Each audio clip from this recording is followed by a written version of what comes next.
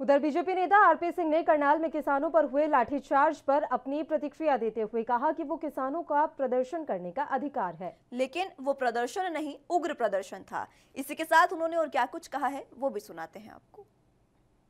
वो प्रदर्शन था या उग्र प्रदर्शन था? वो वहाँ पर तोड़फोड़ कर रहे थे वो वहाँ पर रोड ब्लॉक कर रहे थे और उनको अधिकार है धरना प्रदर्शन करने का परंतु तोड़फोड़ करने का अधिकार नहीं है। वहाँ पर एक प्रकार की गुंडागर्दी करने का या एक प्रकार का वहाँ पर माहौल ख़राब करने का अधिकार नहीं है।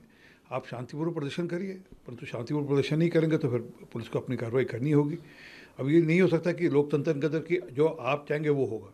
लोकतंत्र माई वे हाईवे नहीं होता। लोकतंत्र में आपको भी अधिकार है और दूसरों को भी अधिकार है, अपना काम और कार्यक्रम कर।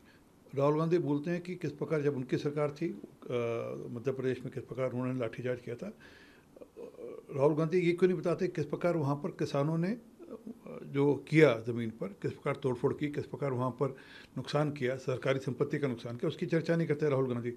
और किसी भी सिस्टम में अनार्किज्म अलाउ नहीं की जा सकती, किसी भी सिस्टम में आप अराजकता अलाउ नहीं कर सकते। मुझे नहीं पता था कि अभिषेक बनर्जी अभी भी स्टूडेंट हैं।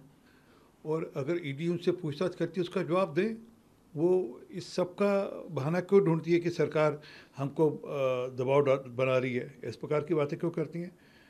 अगर उनके भतीजे ने कुछ घोटाला किया है उनकी पुत्रों ने कुछ घोटाला किया है या कुछ उनसे जानकारी चाहिए तो उसकी जानकारी दें उसकी। बढ़ने से रोक। नहीं राजनीति अपनी जगह है और जो उनको जवाब देना है वो अपनी जगह है। उनको अगर इन्फोर्समेंट डायरेक्टर ने कोई बातें उनसे प्रश्न पूछे हैं उनके जो जानकारी उनसे मांगी हैं तो उसकी जानकारी वो दें। और उसको लेकर वो राजनीति क्यों कर रहे हैं? वो सोच रहे हैं कि ऐसी राजनीति कर कर वो ईडी के जवाब देने से बच जाए।